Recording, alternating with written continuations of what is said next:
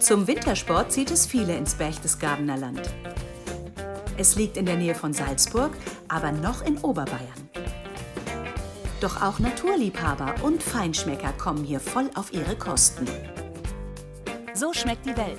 Mittwoch um 20.15 Uhr auf Anixe Plus.